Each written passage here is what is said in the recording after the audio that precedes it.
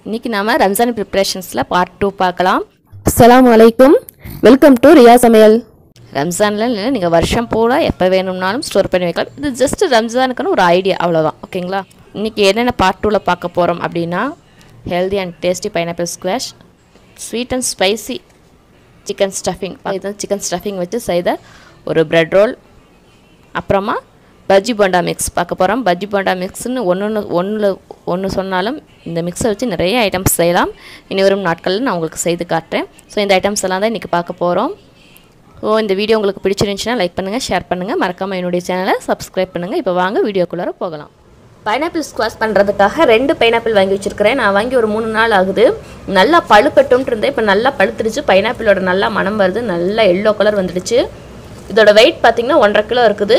இப்போ தோலெல்லாம் சீவிட்டு கட் பண்ணி எடுத்துக்கலாம். கட் பண்ணி எடுத்துகிட்டு நான் காட்டுறேன். பைனாப்பிள்லாம் கட் பண்ணி எடுத்தாச்சு. இப்போ இதை ஒரு மிக்ஸி ஜாரில் போட்டுட்டு அரைச்சி ஜூஸை தனியாக வடிகட்டிட்டு நான் காட்டுறேன். ஜூஸர் இருந்துச்சுன்னா ஜூஸரில் கூட யூஸ் பண்ணிக்கலாம். ஜூஸ் எடுத்து வச்சாச்சு. இப்போ இந்த ஜூஸு எவ்வளோ அளவு இருக்குதுன்னு அளந்துக்கலாம். அளவுக்கு தகுந்த மாதிரி தான் நம்ம சர்க்கரை சேர்க்க முடியும்.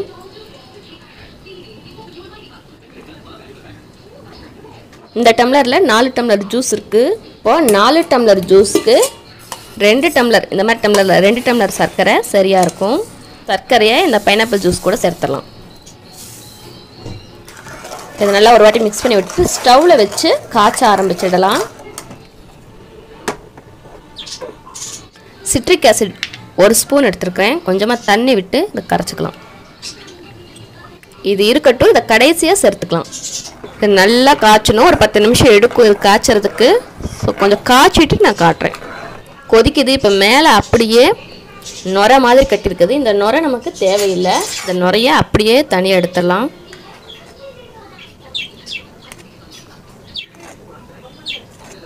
மேலே இருந்த நுரையெல்லாம் எடுத்தாச்சு. இப்போ இது நல்லா கொதிக்கட்டும். இப்போ நல்லா பாதியாக குற குறைஞ்சிடுச்சு. ஜூஸும் இதுவும் நல்லா திக்காயிடுச்சு இதை மிக்ஸ் பண்ணி வச்சுருக்க சிட்ரிக் ஆசிடை ஊற்றிடலாம் எல்லோ கலர் ஃபுட் கலர் கொஞ்சம் ஆட் பண்ணுறேன் இந்த ஆப்ஷனல் தான் ஃபுட் கலர் வேணும்னா நீங்கள் சேர்த்துக்கலாம் இல்லாட்டி சேர்க்காம விட்டுறலாம். ரெடி ஆகிடுச்சு ஸோ ஸ்டவ்வை ஆஃப் பண்ணிடலாம். நல்லா ஆறணும் ரூம் டெம்பரேச்சர் வர்ற வரைக்கும் வெயிட் பண்ணலாம். டேஸ்டியான பைனாப்பிள் ஸ்குவாஷ் ரெடி நமக்கு எப்போவெல்லாம் ஜூஸ் தேவையோ அப்போ கொஞ்சமாக தண்ணி சேர்த்துட்டு டேஸ்ட்டுக்கு தகுந்த அளவுக்கு நம்ம செய்து வச்சுருக்கிற இந்த பைனாப்பிள் ஸ்குவாஷை ஊற்றி ஜூஸ் எப்போ வேணும்னாலும் செய்து குடிக்கலாம். Healthy and tasty pineapple squash ready tasty pineapple squash ready அடுத்ததாக பஜ்ஜி போண்டா மிக்ஸ் பார்க்கலாம். பஜ்ஜி போண்டா மிக்ஸ் வந்து கடையிலே கிடைக்கும். இதில் என்ன கஷ்டம்னு நீங்கள் கேட்கலாம். என்னதான் இருந்தாலும் கடையில் கிடைச்சாலும் நம்ம ஹோம்மேடாக செய்யும்போது அதில் வரக்கூடிய திருப்தியே வேறு தான் அப்புறமா நமக்கு தகுந்த அளவுக்கு இதில் வந்து நாம் உப்பு காரம் சேர்த்துக்கலாம். நம்மளுடைய டேஸ்ட்டுக்கு தகுந்த மாதிரி. அப்புறமா நம்ம இதில் வந்து எந்த ப்ரிசர்வேட்டிவ்ஸோ எதுவுமே நம்ம சேர்க்கவும் போகிறதில்ல இது என்னதான் பஜ்ஜி போண்டா மிக்ஸ்னு ரெண்டு இதில் சொன்னாலும் இதை வச்சு ஏகப்பட்ட ஐட்டம்ஸ் செய்யலாம். நிறைய ஐட்டம்ஸ் செய்யலாம். அது வந்து நான் காட்டுறேன் உங்களுக்கு. அரை கிலோ கடலை மாவு எடுத்திருக்கேன். அதை வந்து ஒரு டப்பாவில் கொட்டிடலாம். டப்பா வந்து நல்லா ட்ரையாக இருக்கணும். ஈரமே இல்லாமல் இருக்கணும். ஏன்னா நம்ம ஸ்டோர் பண்ணி வைக்க போகிறோம் இல்லையா? அதனால். அரை கிலோ கடலை மாவு சேர்த்தாச்சு. இரநூறு கிராம் அரிசி மாவு. அதையும் சேர்த்துக்கலாம். மூணு டேபிள் ஸ்பூன் மிளகாய்த்தூள் தூள் நான் எனக்கு தகுந்த அளவுக்கு உப்பு காரம் நான் சேர்க்குறேன். உங்கள் டேஸ்ட்டுக்கு தகுந்த அளவுக்கு நீங்கள் இதை மாற்றிக்கலாம் ரெண்டு டேபிள் ஸ்பூன் பெருங்காயத்தூள். மூணு டேபிள் ஸ்பூன் உப்பு. ஒரு டேபிள் ஸ்பூன் சோடா உப்பு. இது எல்லாத்தையும் சேர்த்து நல்லா மிக்ஸ் பண்ணிக்கலாம். உங்களுக்கு ப்ரைஸ் வைஸாகவும் ரேட் கம்மியாக ஒரு நீங்களே பஜ்ஜி போண்டா மிக்ஸ் பண்ணும்போது ரேட்டும் உங்களுக்கு கம்மியாகும் ரொம்ப கம்மியாகும். பாதி செலவு தான் உங்களுக்கு ஆகும் நீங்களே மிக்ஸ் பண்ணும்போது. இதில் மறுபடியும் ஒரு டேபிள் ஸ்பூன் உப்பு சேர்த்துக்கிறேன். அவ்வளோதாங்க ஜஸ்ட் ஃபியூ செகண்ட்ஸில் பஜ்ஜி போண்டா மிக்ஸ் ரெடி ஆகிடுச்சு இதை நீங்கள் எவ்வளோ மாதம் வேணுனாலும் ஸ்டோர் பண்ணி வச்சுக்கலாம். ஒரு பாக்ஸில் போட்டு மூடி வச்சுட்டு ஸ்டோர் பண்ணி வைக்கலாம். இதெல்லாம் ஃப்ரிட்ஜில் வைக்கணும்னு அவசியமே இல்லை. வெளியவே நீங்கள் ரூம் டெம்பரேச்சரில் வச்சுக்கலாம். Sweet and spicy chicken stuffing முந்நூறு கிராம் போல் சிக்கன் எடுத்திருக்கேன். போன்லெஸ் சிக்கன் கறி மசாலா பவுடர் ஒரு டீஸ்பூன். மிளகாய்த்தூள் அரை டீஸ்பூன். கால் டீஸ்பூன் மஞ்சள் தூள். தேவையான அளவு உப்பு. ஒரு டம்ளர் போல் தண்ணி விட்டுக்கலாம். சிக்கன் வேகிறதுக்கு அரை டம்ளர் போதும். ஒரு டம்ளர் கூட தேவையில்லை. சிக்கன் நல்லா வேகட்டும். சிக்கன் நல்லா வெந்துருச்சு இது நல்லா ஆறட்டும். கடாய் வச்சுருக்கிறேன். கடாயில் கொஞ்சமாக எண்ணெய் விட்டுக்கலாம். ஒரு மூணு டேபிள் ஸ்பூன் போல். ரெண்டு வெங்காயம் சேர்த்துக்கலாம். வெங்காயத்தை நல்லா வதக்கிக்கலாம். ஒரு டேபிள் ஸ்பூன் இஞ்சி பூண்டு விழுது. இஞ்சி பூண்டு விழுது பச்சை வாசனை போக வதக்கிக்கலாம். கேரட் அப்புறமா பீன்ஸ் பொடியாக நறுக்கி வச்சுருக்கிறேன். கேரட் பீன்ஸ் நல்லா வதங்கட்டும். வேக வச்சு வச்சுருக்க சிக்கனை சின்ன சின்ன பீஸாக கட் பண்ணி எடுத்துக்கலாம். அடுத்ததாக குடமிளகா சேர்த்துக்கலாம். குடமிளகா கொஞ்சம் வதங்கட்டும்.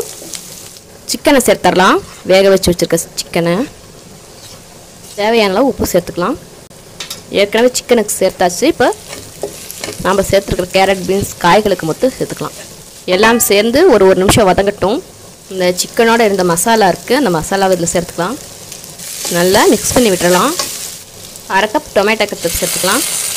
எல்லாத்தையும் ஒரு வாட்டி நல்லா மிக்ஸ் பண்ணிடலாம் ஃபைனலாக கொஞ்சம் கொத்தமல்லி சேர்த்துட்டு ஸ்டவ் ஆஃப் பண்ணிடலாம். Sweet and spicy chicken stuffing ready இப்போ இந்த ஸ்டஃபிங்கை வச்சுட்டு நீங்கள் என்ன நிறைய ஐட்டம்ஸ் பண்ணலாம்.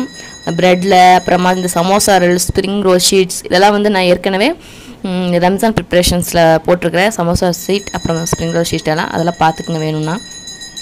அப்புறமா நிறைய ஐட்டம்ஸ் கூட ஸ்டஃபிங் பண்ணலாம். இது ஒரு இதை ஒரு ஏர்டைட் பாக்ஸில் போட்டுட்டு ஃப்ரிட்ஜில் ஸ்டோர் பண்ணி வச்சுக்கலாம். இதை வந்து ஒரு ஃபிஃப்டீன் டு டுவெண்ட்டி டேஸ் வரைக்கும் நீங்கள் ஸ்டோர் பண்ணி வைக்கலாம்.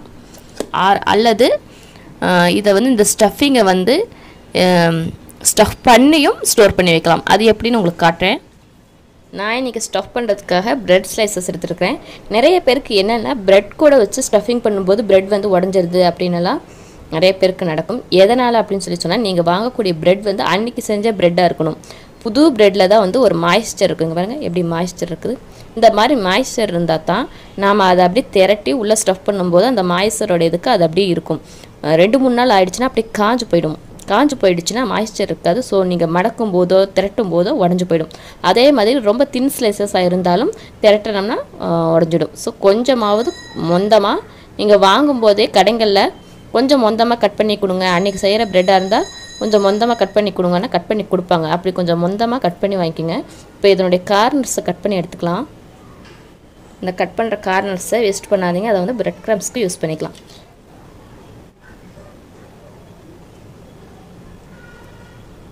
இதை லைட்டாக திரட்டி எடுத்துக்கலாம்.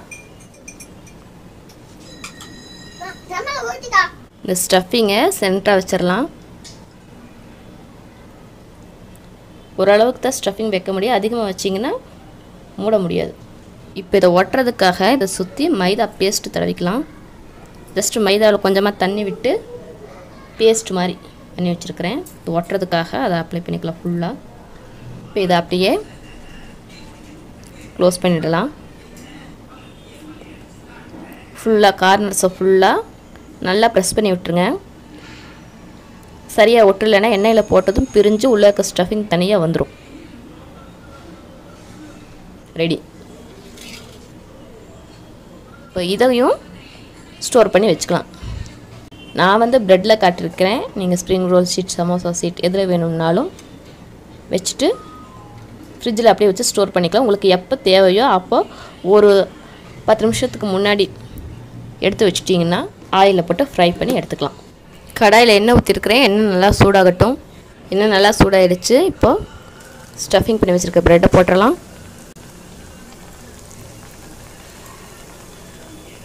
நல்லா பொரியட்டும். கோல்டன் கலர் வர வரைக்கும் பொரியட்டும்.